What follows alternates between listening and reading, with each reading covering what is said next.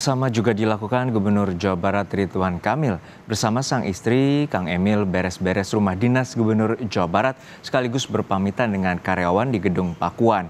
Bagi Ridwan Kamil begitu banyak kenangan di rumah dinas selama bertugas lima tahun membangun Jawa Barat, termasuk kenangan bersama keluarga serta saat melepas kepergian putranya Emeril Khan Mumtaz.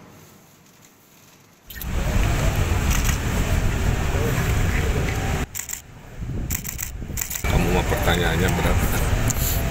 Dia melepas Eril